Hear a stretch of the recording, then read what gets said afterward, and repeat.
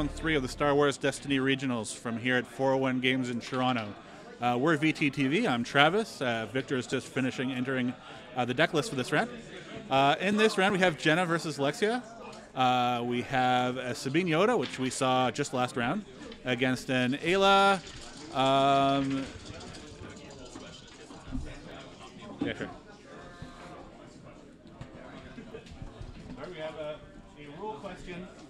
And we're not necessarily rule connoisseurs, but we're the best we got. Uh, yeah, so we have Rey and Ayla on Alexia's side. Um,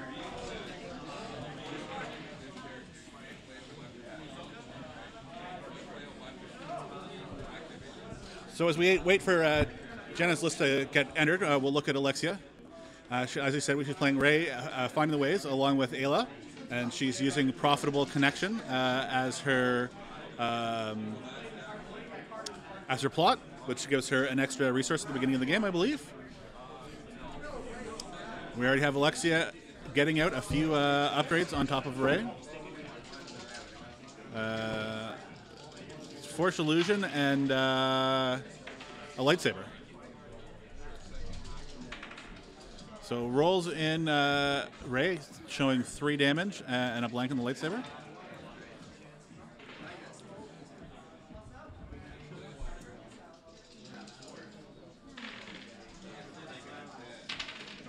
So Jenna plays out a blaster from the discard using Sabine's ability. Rolls out a seven disrupt total uh, across those three dice. Uh, Alexia has no resources showing, so not the greatest roll.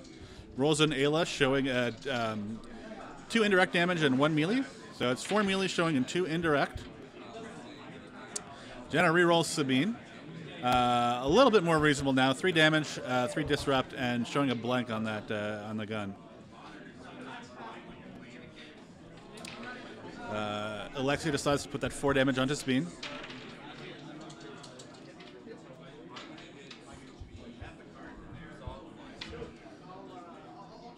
Uh, another reroll. We see a shield and a resource uh, added to that three damage.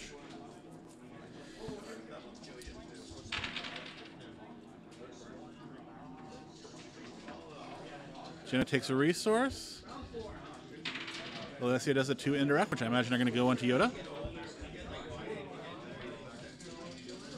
Uh, looks like it doesn't have the resource to pay for that lightsaber side, but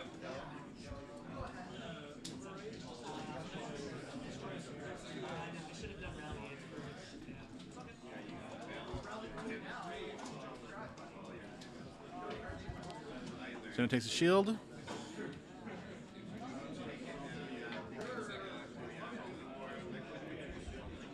I assume that Alexia claimed the battlefield there, even though it hasn't been moved over to her side. That's why she took a resource at the end of the round there.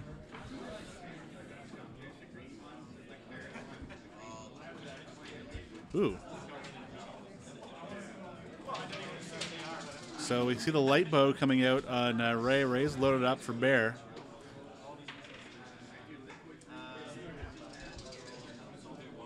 Force illusion onto Yoda, and then uh, Alexia rolls out in response, showing uh, four damage. Uh, two of those uh, plus side, and uh, showing the special on the bow.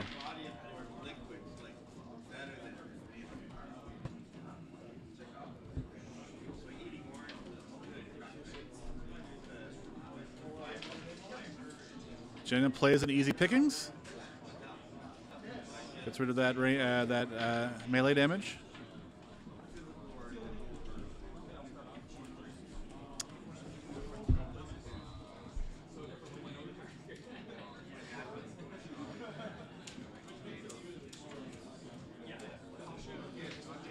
Ayla comes in with two indirect and a resource.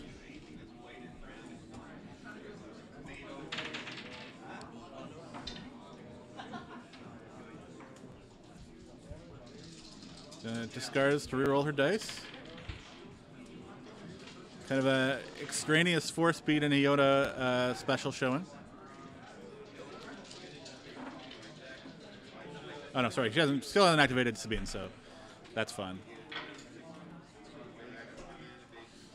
And uh, now we have uh, Jenna's List coming up, and uh, they are pay- playing um, Jenna's battlefield, but I believe it's been claimed by Alexia.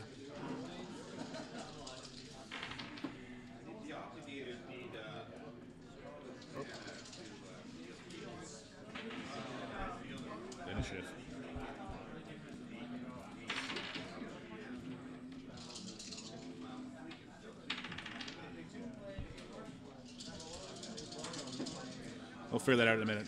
Okay. Anyway.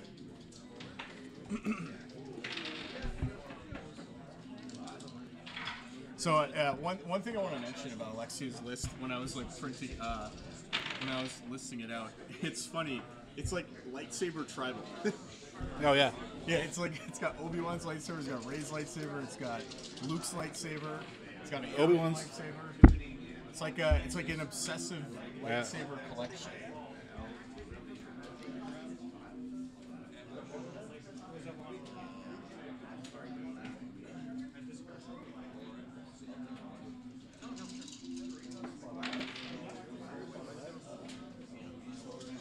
Yeah, so the battlefield's still over on Jenna's side. I'm not sure if uh, she had. No, no. So Alexia's rolled in, so it's still Alexia's battlefield. Rolls in some discards. Special on uh, the lightsaber. Resource on one of Rey's die.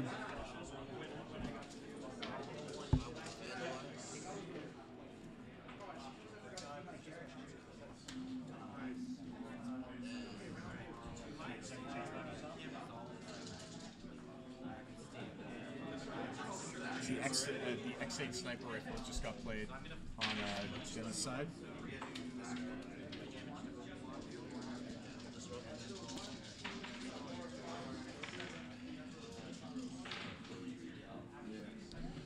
Uh, rolls pretty great there, showing eight damage between those three dice. It's way overkill for Ayla. Or I guess you can do, uh, She can split it up. yeah, still uh, overkill by one, but or no, yeah, still overkill by one.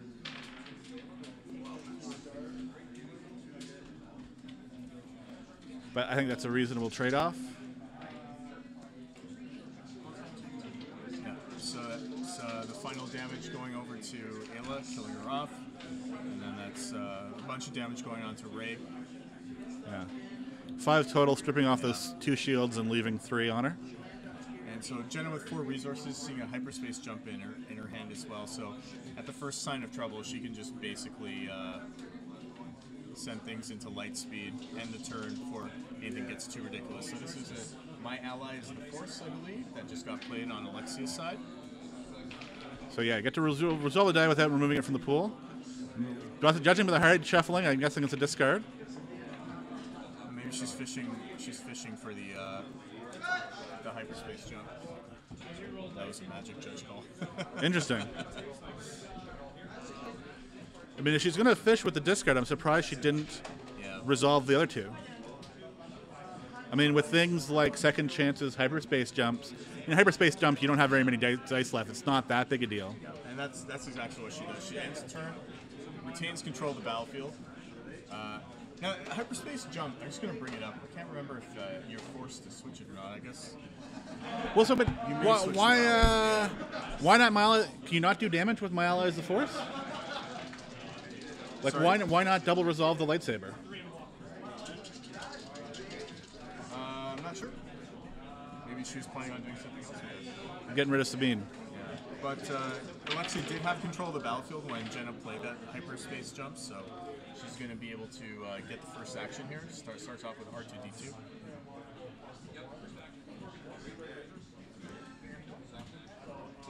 And we're kind of seeing a bit of a a bit of a replay of last round, where it was a, sort of- sort of this slower kind of build-up deck versus a very fast blitz deck. Uh, so Jenna is going to. Uh, I guess this is act- she's activating Sabine here. Yes. Yep. Overriding with the holdout blaster, which is interesting. Yeah. So this was she played the over the holdout blaster from her hand, right? No, she, she went Oh, fish for it. Right. So she's gonna get the ambush action here. Roll it out. Oh, not very good. She does have one more action to uh, to do something about it. And that's a running interference. Uh, so that I guess Alexia cannot roll out her character in response. Running interference is a very powerful card, especially in this deck. So now Jenna, I think, is deciding what to do as her second action. Looks like a discard to reroll. Try to get something a bit more devastating here. And this time she rolls a resource. Looks like a damage side. Yeah. So That's a- five damage showing one face side. Uh, yeah, so sound the alarm from uh, Alexia to get her to re-roll the damage. Comes back with just two, so it's a, a nice a nice decrease for uh, Alexia.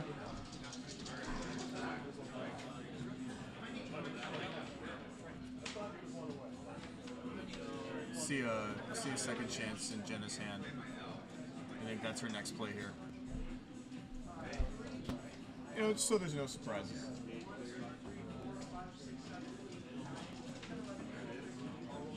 No, instead goes for the discard to reroll.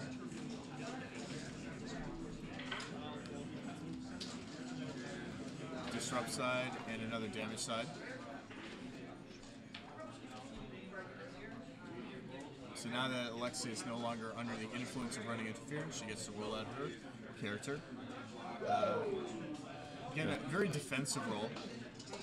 And Jenna's going to take this opportunity to drop down her second chance to. Uh, Before she has to discard it, she doesn't have to lose it. she's gonna hit it with the lightsaber. Yeah, right away discarding it. Well, at least uh, Jenna doesn't have any cash anymore, so she won't be able to resolve that two range damage side on the holdout blaster. Does get to throw three damage on the way, however. Or maybe not. Just thinking about to do. So I have to re-roll first.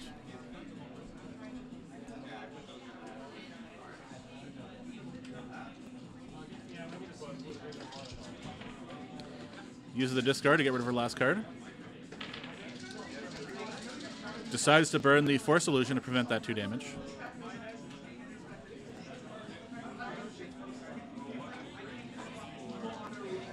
Rolling in R2. I like I like how in this deck the the Yoda roll-in is almost like an afterthought. Yeah. like, oh, I got, I got something left to do. I'll just roll in Yoda. Why not? Um, yeah, with the no blank sides of Yoda though, it's just oh, it's so good. So we see a focus side there. She's able to. I think she she's basically being able to sculpt her her dice however she wants. So it looks like puts the shield on Sabine and then puts the uh, onto the three damage side. Yeah.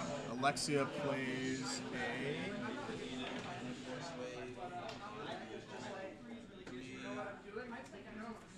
I forget the name of that card. I think I forgot to put it on the list too. There's a bunch of stuff on this list. Is it in the next? Is it on the right side? Is it all that stuff? Yeah, probably.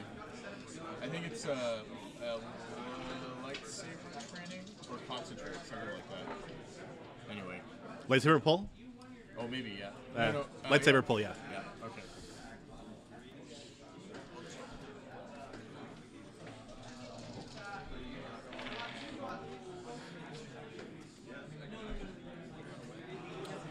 Moving on to the next round.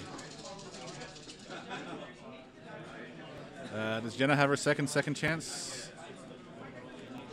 I don't know if I see it in her hand. Uh, it doesn't look like it. So, Alexia, Alexia has the opportunity. She's, she's able to do it. So, uh, Alexia's first action is that she plays out the. Luke's protection? Is that what it is? Uh, I think something like that. I think I have it. Yeah. Luke's protection. Great piece of art.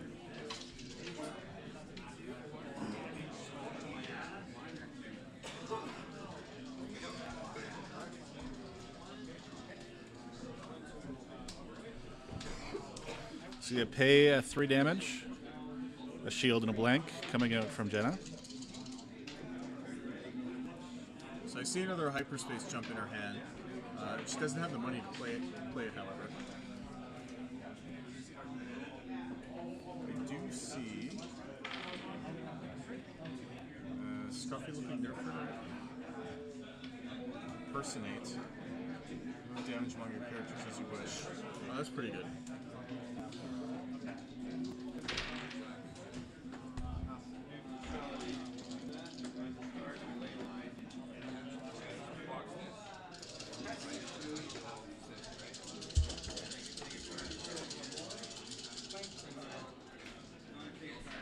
So rolls out a focus and a shield. Uh, with the money she has, she, she can just focus Sabine and go. Oh, but uh, Lexia with a really good roll this time. Yeah. Lots of melee damage. Uh, Showing seven, yeah. And which uh, is, which is more than enough to kill Sabine at this point. Yeah, I, th- I think I think uh, Jenna might just play impersonate now. Yeah, just to move all the damage onto Yoda. Yep. Heads up play here. That's gonna let Sabine survive for another turn. Of course, now. It also gives the opportunity for the other second chance later on. Absolutely. So Lexia is going to take this opportunity to take out Yoda. Well, at the very least, that's going to be uh, a removal of a focus and some very good uh, dice manipulation on her side. So it's a Rey versus Sabine now. You know, I, I, when we uh, when we first came into this match, I thought I thought Lexia was on the back foot, but looks like uh, she's Well, managed to looks like she's dead. stabilize a bit. Yeah, unless she has something. I don't even know if uh, Luke's protection saves her this time. Well, it, it does. Uh, okay. Oh, actually, uh, uh, yeah.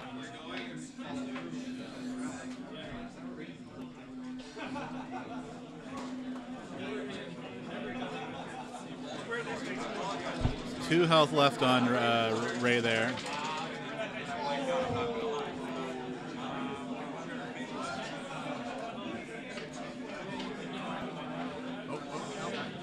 With uh, with Sabine's acting advantage, though, it's going to be rough.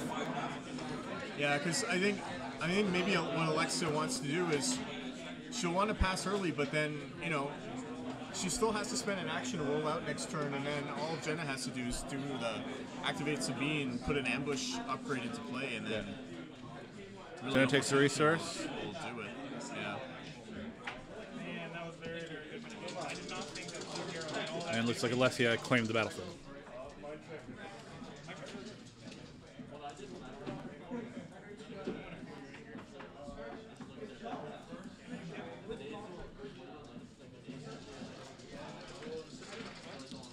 That puts Jenna in the position that she can hyperspace away from something truly frightening. Yeah, once she gets her three resources to turn, right?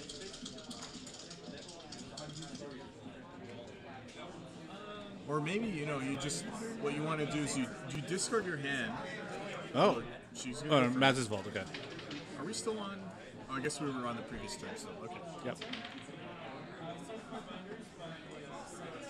Um, yeah, you, you probably want to keep the hyperspace jump, but also like with the running interference, maybe you also want to just uh, fish for a never tell me the odds. And I think she just drew it. Yeah. Yeah, No. it looks like she just drew the never tell I me don't the think she odds. got. Uh, I don't think she has another second chance. Yeah. So here's a lightsaber pull on. Uh,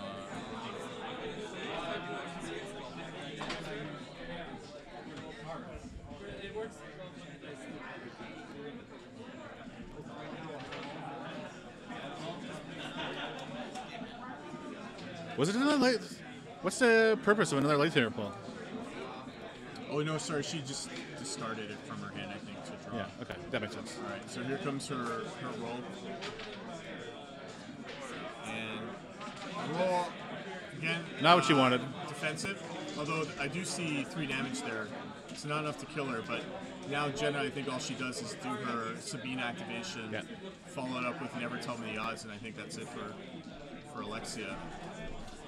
I mean, the only thing that needed to happen in that scenario was just as long as uh, Alexia didn't roll like a lethal roll, then she could. This line of play was going to be enough to secure, secure her the win. So here's the activation, putting the DL44, making Alexia remove a die from her pool. Rolling in Sabine. Of course, it doesn't really matter what she rolls, because in a moment here we'll see a Never Tell Me the Odds combined with a running interference. Yep. And that just becomes whatever she wants it to be.